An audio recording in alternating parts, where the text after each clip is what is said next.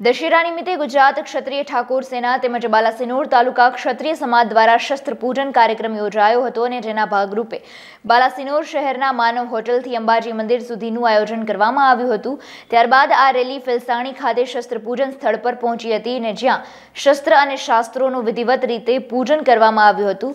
ગુજરાત ક્ષત્રિય ઠાકોર સેના મહીસાગર જિલ્લા પ્રમુખ કિરીટસિંહ ઝાલા, બાલાસિનોર તાલુકા પ્રમુખ રાહુલ ઝાલા, બાલાસિનોર પ્રમુખ સાગર ઝાલા પ્રવીણસિંહ ચૌહાણ તેમજ સરપંચો, ગુજરાત ક્ષત્રિય ઠાકોર સેનાના કાર્યકરો, ક્ષત્રિય સમાજના આગેવાનો અને ફેલસાણી ગ્રામના ગ્રામજનો મોટી સંખ્યામાં ઉપસ્થિત રહ્યા હતા.